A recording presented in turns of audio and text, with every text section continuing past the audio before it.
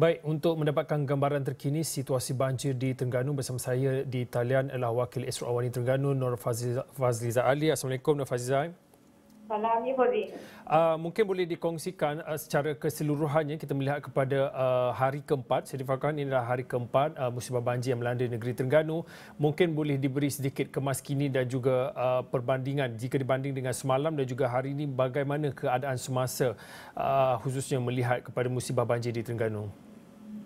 Baik, terima kasih Fauzi uh, di studio jumlah mangsa di Terengganu terus menunjukkan peningkatan dan sehingga kini ianya telah mencecah kepada 12,183 mangsa berbanding lebih 6,000 mangsa yang dilakukan sejejas pada semalam Wazi. Uh, dan setakat ini juga daerah Kemaman terus merekodkan mangsa tertinggi dengan 3,202 mangsa dan uh, sebanyak 878 keluarga itu ditempatkan ke 23 buah pusat pemindahan sementara.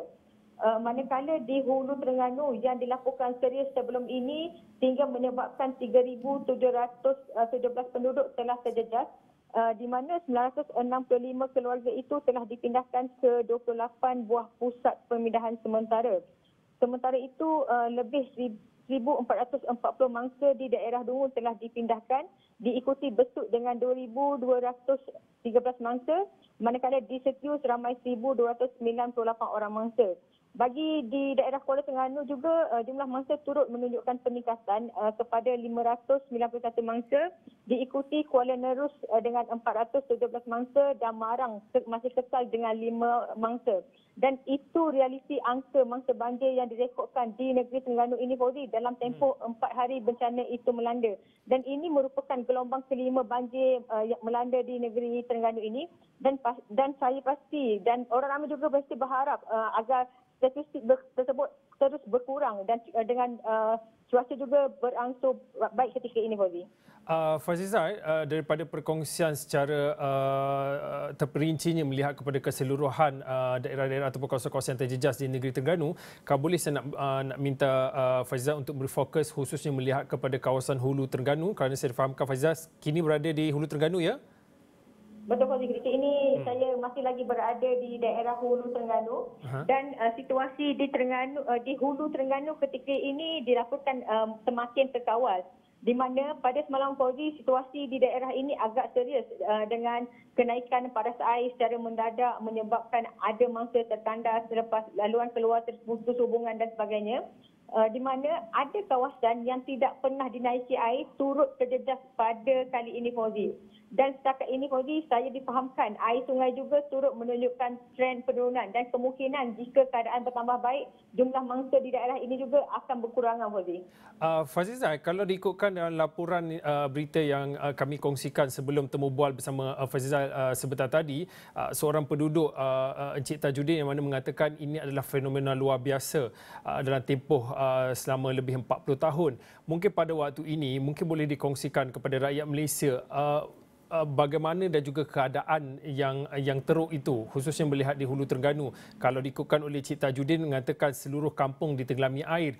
Setakat ataupun paras mana air uh, uh, yang yang uh, air banjir uh, uh, menenggelami kampung? Kalau boleh dikongsikan. Berbagi, rasa-rasa kampung yang ditenggelami air ini melebihi paras tinggal dan ada kawasan di pendalaman sehingga mencapai ke paras bumbung. Dan itu menyebabkan uh, ada di bilangan mangsa terpaksa berlindung di bumbung bagi menyelamatkan diri.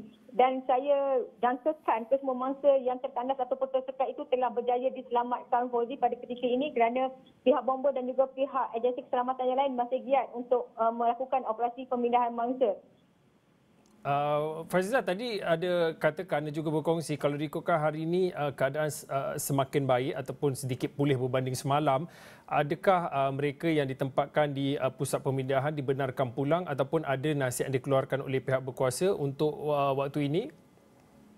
Secara keseluruhannya di negeri Terengganu ini Fauzi uh, jumlah mangsa semakin bertambah dan ianya uh, masih ramai uh, mangsa yang ditempatkan di PPS ini.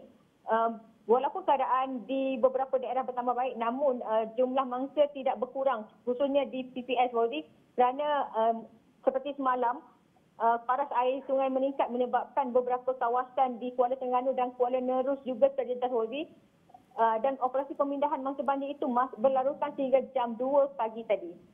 Okey, baik. Terima kasih Nur Fazal Ali, uh, Wakil Esrawani di Terengganu yang mana berkongsi secara terkini perkembangan semasa melihat kepada musibah banjir di Pantai Timur khususnya di negeri Terengganu dan pastinya Nur Fazal Ali akan berkongsi lagi uh, uh, uh, perkembangan semasa dan juga perkembangan terkini uh, khususnya melihat kepada musibah banjir uh, yang dikatakan hari ini hari keempat dan juga ini adalah uh, gelombang kelima musibah banjir yang melanda di Pantai Timur.